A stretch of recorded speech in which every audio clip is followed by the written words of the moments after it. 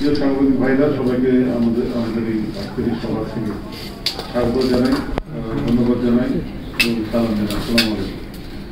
আজকের এই সভাটি অত্যন্ত গুরুত্বপূর্ণ ছিল। এবং এখানে একই সভার মধ্যে এখানে করোনা সংক্রান্ত প্রায় তিনটি কমিটি সরকার গঠিত।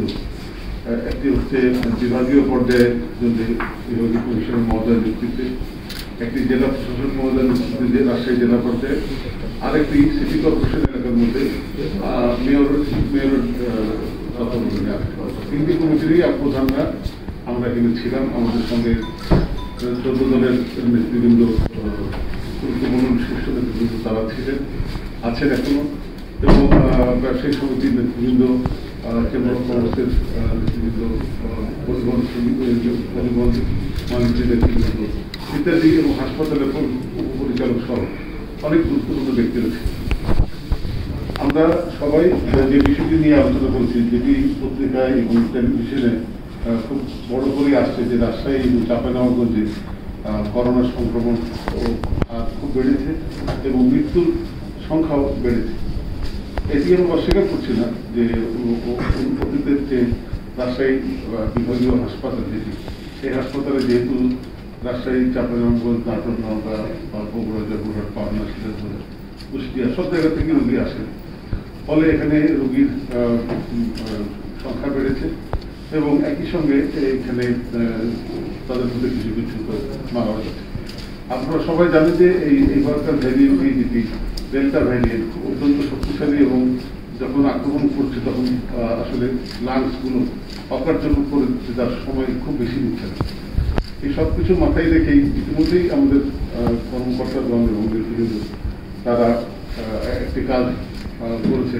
সেটি হলো প্রথম প্রথম পর্যায়ে সন্ধ্যা সাতটা থেকে সকাল ছয়টা পর্যন্ত ছিল যে এর মধ্যে দোকানপাট, ব্যবসা বাণিজ্য বা জনগণ রাস্তায় বা মাঠে থাকবে।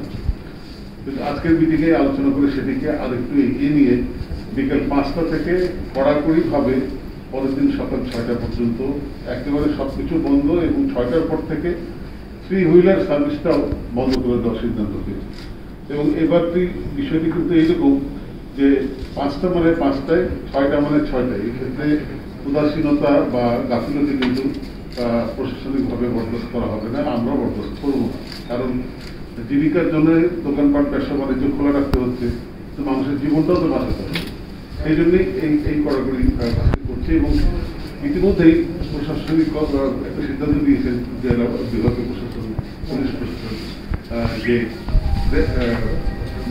on the spot random sampling এর মাধ্যমে মানুষের করোনা কার আছে কার নেই এটা আজকে থেকে বোধহয় শুরু হয়েছে তো আজ সকাল থেকে শুরু হয়েছে এবং আগামীকাল থেকে আরও বাড়বে অর্থাৎ বিভিন্ন বোর্ডে জমায়েত করা লোক তাদের মধ্যে তাদের কাছ স্যাম্পল নিয়ে যদি পজিটিভ পাওয়া যায়, তাহলে তাকে তৎক্ষণাৎ চিহ্নিত করে তাকে বাড়িতে পাঠিয়ে দেওয়ার ব্যবস্থা করা যাবে। সে আর বাইরে এই রোগটি বিস্তার করতে পারবে না। এবং সেও সতর্ক থাকবে, অন্যান্য লোকের সতর্ক হবে। এবং এইরকম কেস যত বেশি হবে, তত তত কিন্তু এটি প্রশাসন যে তৎপর রয়েছে, এটি জনগণের মধ্যে ছড়িয়ে পড়বে এবং তারাও একটু সচেতন পাশাপাশি পুলিশের যে ওয়ার্ডে ওয়ার্ডে কমিউনিটি পুলিশের যে কমিটিগুলি আছে, সেগুলোকে অ্যাক্টিভেট করে জনগণকে সচেতন করার বিষয়টি মাস্ক পরার বিষয়টি স্যানিটাইজার ব্যবহার করার বিষয়টি যেটি জনগণকে কাঙ্ক্ষিত জায়গায় কিছুতেই আনা যাচ্ছে না, সেই জায়গাতে আনতেই হবে। এবং সেই জন্যে অনেক কিছু করা হয়েছে। আবারও নতুন করে আমরা ওয়ার্ড পর্যায়ে একেবারে আমাদের সমাজের তিরিশটি ওয়ার্ড এবং প্রয়োজনে পার্শ্ববর্তী ইউনিয়নগুলিতে এই বিভিন্ন তরুণ উদ্যোগী উদ্যমী যারা যুবকরা আছেন, ছেলেরা আছেন তাদেরকে নিয়ে অ্যাওয়ারনেস ডেভেলপমেন্ট একটা কমিটি করে তাদেরকে দিয়ে আমরা এই মোটিভেশনের কাজটি আবারও শুরু করতে চাই এবং এটির দায়িত্ব আমাদেরকে নিতে হবে। আমরা যারা বিভিন্ন রাজনৈতিক দলের নেতৃত্ব আছি, আমাদেরকে এই এই ওয়ার্ড পর্যায়ের কাজগুলি, তৃণমূল পর্যায়ের কাজগুলি করতে হবে।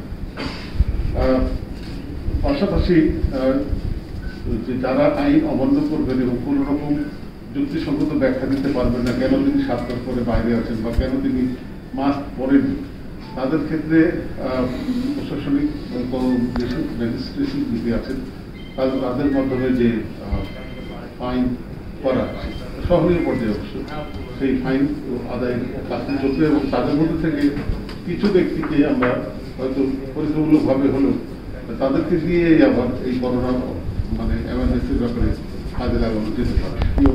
একটা প্রস্তাব সেটা ভালো আমার মনে হয় যে আগামী কাল থেকেই রাজশাহীর পার্শ্ববর্তী রাজশাহী জেলার পশ্চিমের যে দুটি থানা একটি। হ্যাঁ মোহনপুর।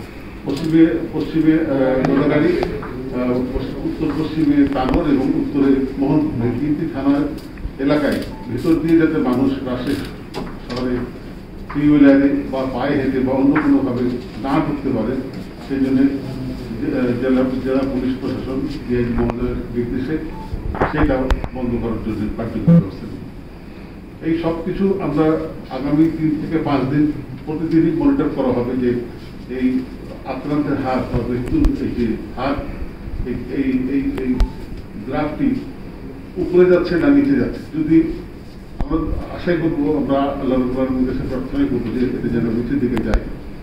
যদি কোনো কারণে উপরের দিকে মানে মানুষ বেশি করে আক্রান্তের হারটি অব্যাহত থাকে, বা মৃত্যুর হার অব্যাহত থাকে, তাহলে পাঁচ দিন পরে আমাদের সভা হবে সেই সভাতে একেবারে চোদ্দ দিনের জন্যই কঠোর থেকে কঠোরতম যে লকডাউন হয়, সেটি আমরা দিতেই হবে। জন জীবন বাঁচানোর জন্য সেটি দিতেই হবে।